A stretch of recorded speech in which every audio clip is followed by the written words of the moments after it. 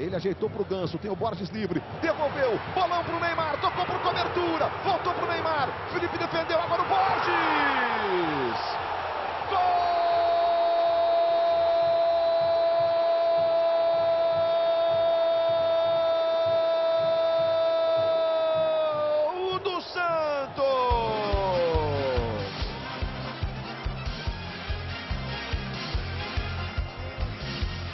Outra vez, Borges, número 9. Bola do Ganso pro Neymar. Grande defesa do Felipe. Neymar tentou a bicicleta, não conseguiu.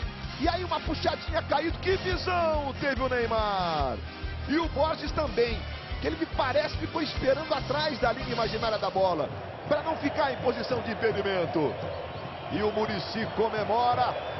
O Santos faz 2 a 0 com 16 minutos. De novo, olha o toque do Neymar agora. E o Borges se apresenta para empurrar para o fundo do gol. 2 a 0 para o Santos, Júnior. Não, uma jogada errada, né, Luiz? Você narrou, né? A virada de jogo do Renato caiu exatamente nos pés dos jogadores que têm criatividade e precisão, que foi o caso do Ganso. Né? Como na primeira não saiu no toque do, do Neymar, depois ele conseguiu achar o Borges livre livre.